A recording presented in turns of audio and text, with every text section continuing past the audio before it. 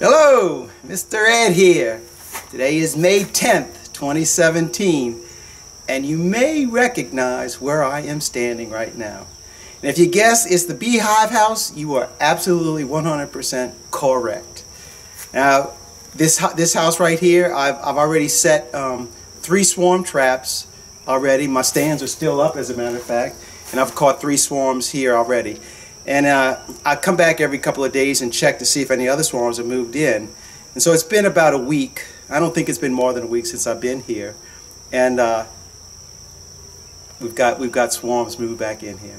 So let me grab the camera and, and I'm to show you what we're looking at today. This is swarm number one, right here. And they moved into the exact same spot where I had removed a swarm last year. You can see the traces of the old comb that were hanging right there. I removed that last year, and uh, and now these bees have come back to it. Um, you can see my stands on the outside here, another one right there, and the other one right there that we caught swarms already this year. But this, this is what we're looking at today. How about that one? Now, like I said, I don't think these bees have been here more than seven days. I'm certain there's going to be a little bit of comb built up in there. But we're going to grab these bees this morning real quick and uh, get them in a box. I'm going to leave the box here, let them stay out here for a day or two after I put them in the box. But after that, they'll be heading up to the St. John's yard. But folks, I tell you, this house is like the fruit of the month club at Christmas time. It's the gift that just keeps on giving. So by the grace of God, these girls right here, they're going to become Abby honeybees. Let's wrangle some bees by hand.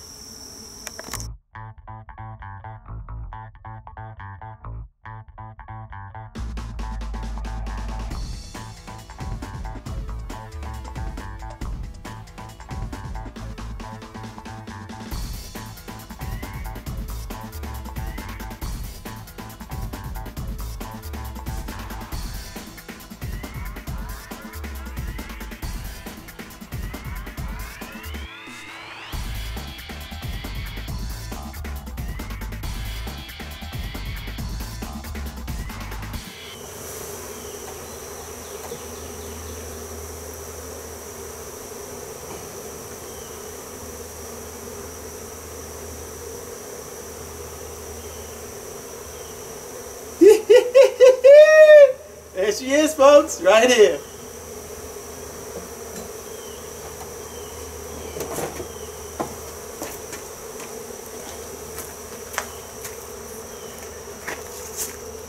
Look at that. Woo wee. She is a beauty. I guarantee that ain't no virgin queen. That's the old queen right there. Uh, I hate to say it again, but that thing is so big, the dirt rooster could have seen that one. I pulled the uh, that last little section of comb off, and I just happened to, I said, well, let me see if she's on the other side. I looked up there and I saw her running around in the frame. I dropped that piece of comb, and I nabbed her. Oh, thank you, Jesus. What a blessing, huh? So now I'm going to do is go ahead and lay her right inside of the, uh, on top of the box. bees will find her. And uh, we'll get this thing done really quick. I'm not going to be able to save any of that comb. It's, it's just so, so soft. I'm sorry about that because they, they worked pretty hard to get it to that point.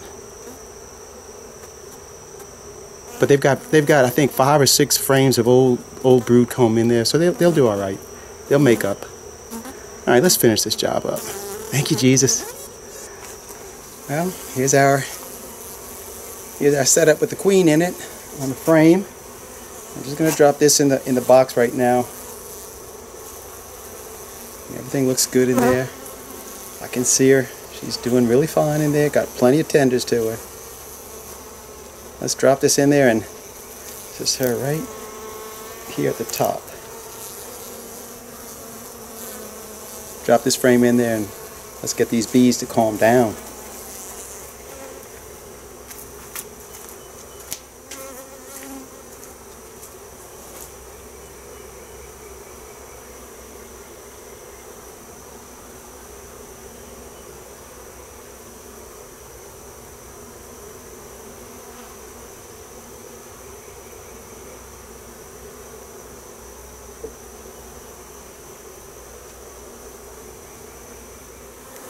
As you can see, there still are a bunch of them up in there.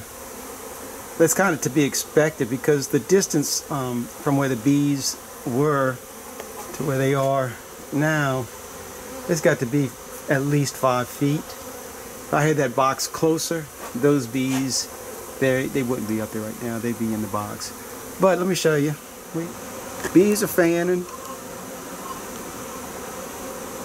They're letting them know they're here. They got their rumps up in the air, spreading the word. And pretty soon, all these girls, they're going to be in the box. Hot dog. How about this, folks? I came back today, so it's not even been, well, maybe about 20 hours later, and we got another swarm moved in. So hopefully I'll get out here the next day or two and get these things out of here before they start building too much comb. But we're going to go ahead and finish up on that that other one we did the other day. We're to release the queen and uh, close up that box.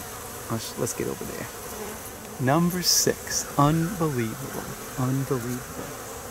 Wow. Well, the box is all closed up and the bees are definitely all settled into it now. So I'm to go ahead and, and uh, release the queen. I'm to release the queen and uh, close this one up.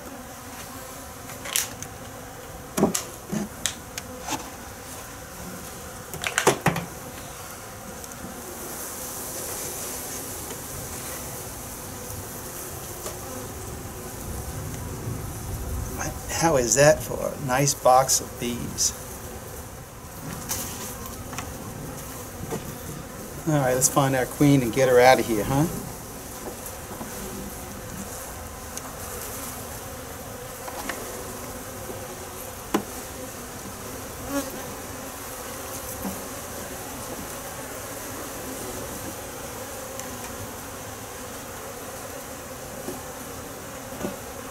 Just make a little room so it just won't be so tight when we turn it loose.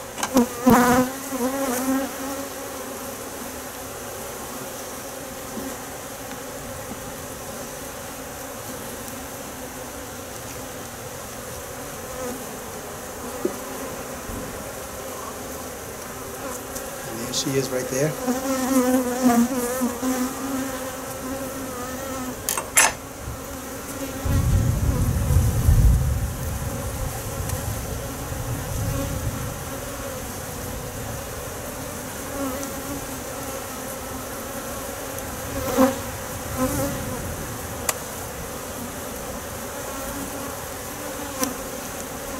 So we're going to just turn it loose on the comb. Right here.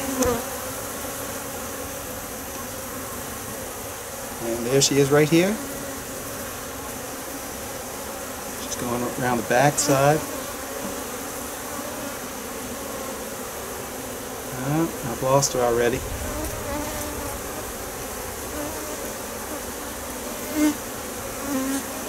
Well, anyway, she went in there. All right. We'll close this one up.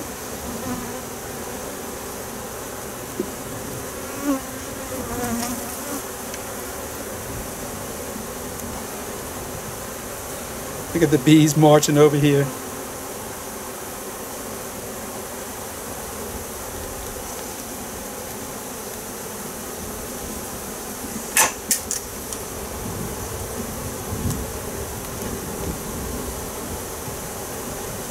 Think these girls don't know where their mama is? well, that went very smooth. Um, so that's all I have for you in this one. Uh, thank you for watching. Keep on watching. I'll be making more. As you can see, I got another swarm moving in over there. Uh, they haven't, I mean, they probably just moved in there this afternoon, less than 12 hours. And it looks like there actually may be another one moving in over here too. So I don't call this house the beehive house for nothing. All right, till next time, God bless. Bye now.